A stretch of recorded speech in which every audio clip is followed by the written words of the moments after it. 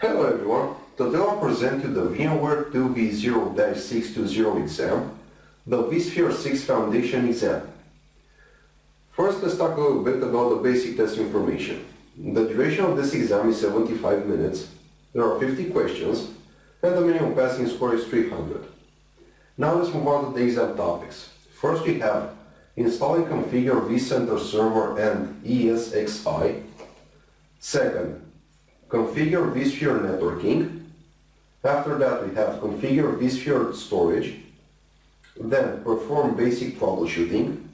And the last one, monitor a vSphere implementation.